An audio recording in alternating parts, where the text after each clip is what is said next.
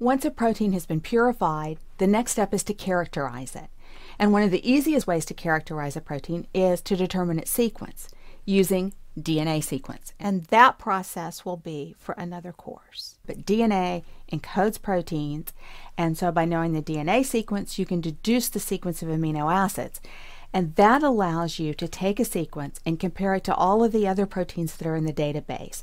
We can do this all by computer now and analyze what family it's in, and from that, sometimes deduce a function if you don't already know the function of the protein. And that information can suggest further ways to characterize the protein. And once you've purified a protein, what we all want to see is the structure.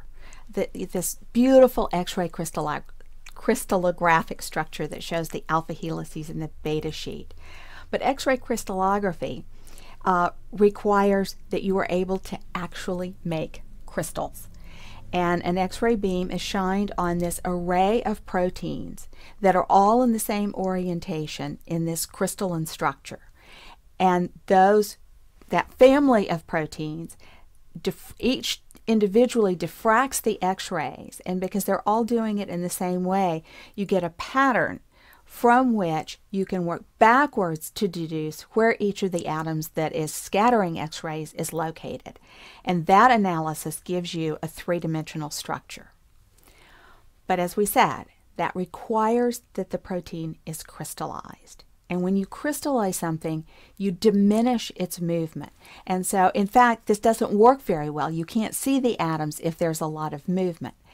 And what that has meant is that because crystallization is an essential step in this process, we've only seen structures for proteins that were easily crystallized. So the early, early structures of proteins were things that you could get a lot of, like hemoglobin and lysozyme, and that were these lovely globular, well folded proteins.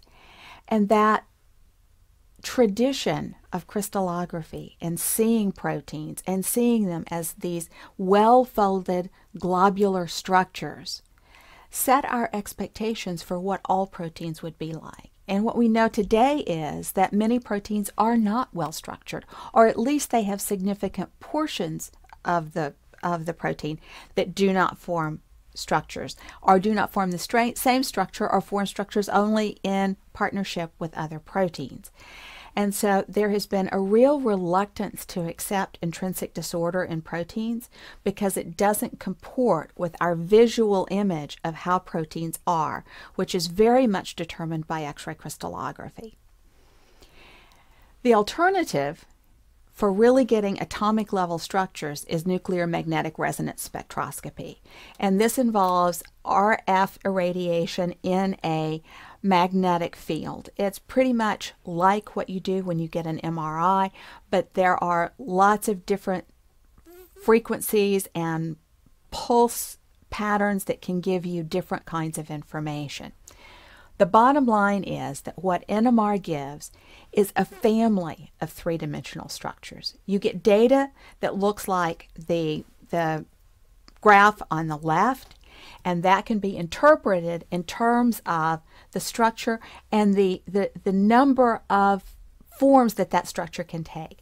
And so when you look at the structure on the right, you can see that the side chains are not well resolved. They're kind of in multiple places. Even the backbones move around. It, it's not that crisp, beautiful structure that you see with crystallography, but it's also much more realistic.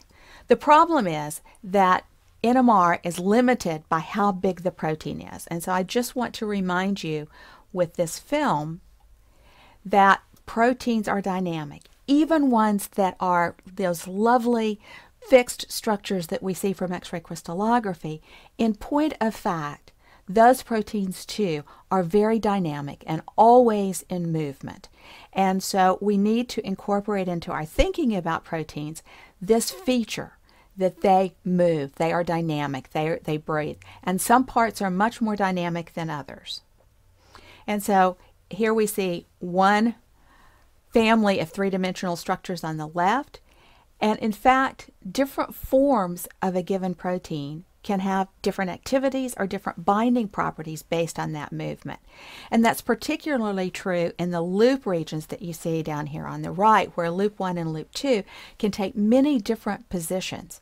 And those different positions may alter the specific activity. So NMR gives us this family of three-dimensional structures. It's not that crisp, clean X-ray crystallographic structure. And different forms may actually have different activities, different binding properties.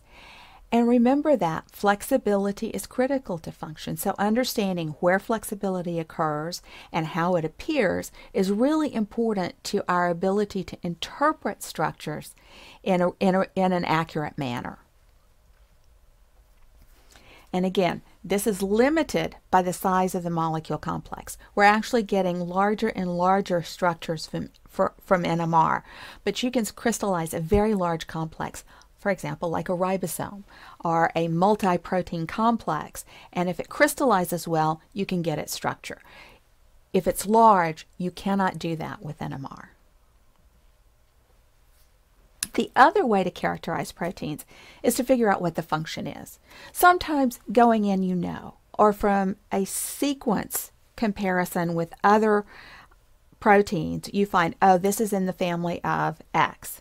And therefore, it's going to have a function that is similar to the other proteins in this family. But proteins can have binding capacity, they can be catalytic proteins, Many of them par form partners, and they also will have inhibitors and activators. And so figuring out how to identify these is very idiosyncratic because it depends on what the target is, what the reaction is, what the other partners are. And high throughput methods where you can use, for example, 96 well plates or 1096 well plates and carry out different reactions in each of those wells and then screen through those spectrophotometrically.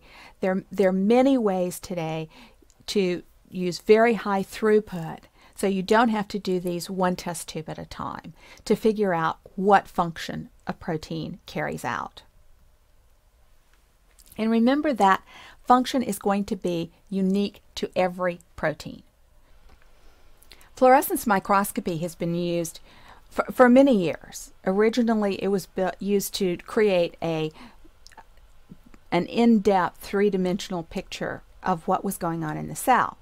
And historically, it was dyes that were used to stain different types of molecules, DNA or protein or lipids, so that, that it was possible to say each component was in these, these different places. And for example, that's how it was discovered that DNA was in the nucleus.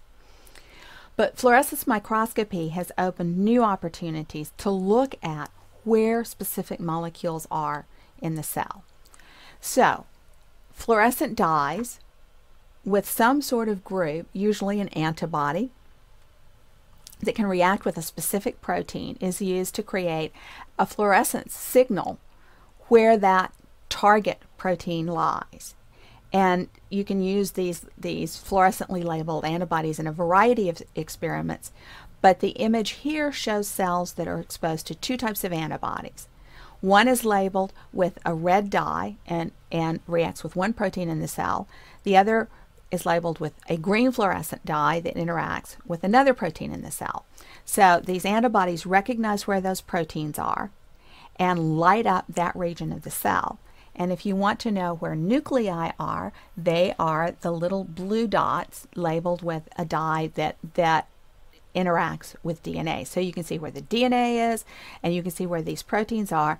And it just allows developing this three-dimensional picture. You can also get much more detailed cellular uh, information on a single cell that tells you where components are. So fluorescence microscopy is again one of the things in the arsenal for characterizing where a protein is and what a protein does. It turns out that, that small molecules frequently are inhibitors or sometimes activators of specific proteins. And their impact on what happens in the cell can be monitored and that in turn can yield information about what the specific function of the protein is. Is it a binding protein? Is it a catalytic protein? Where does it show up? And if you have a protein that you're not sure quite what it does, it can be useful to identify whether or not the cell needs that function. So kinesin, for example, it was thought to be involved in the separation of the, the um, chromosomes during cell division. And you can see in the top picture the normal function of kinesin.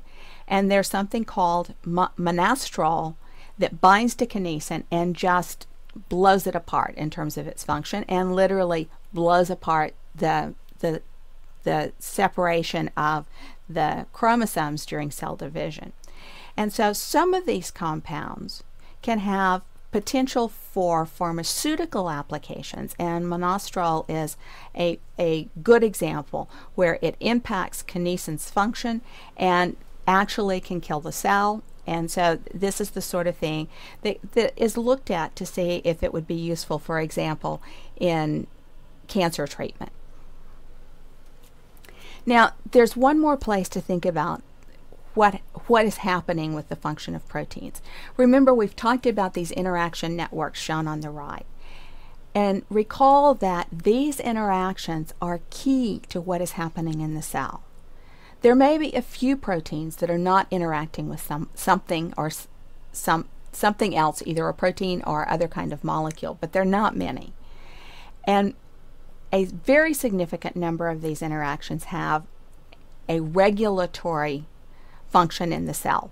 They do something that either activates or inhibits another protein's activity. And so finding where your protein is in this interaction space is also part of characterization. Understanding what other things it interacts with, and if it's in a family of proteins that you've identified, and you know that, that this other protein has these interactions, and then you establish that yours has one of those but not the other, it will tell you something about what it does in the cell. And ultimately, cell biology encompasses understanding these pathways in terms of individual protein function. So for reflection, think about why the methods for determining protein structure are important. Why, why do we bother? What are the advantages versus the disadvantages of the different ways that we can determine structure? And finally, how does structure relate to function? That's very important. How does the structure of a protein relate to its function?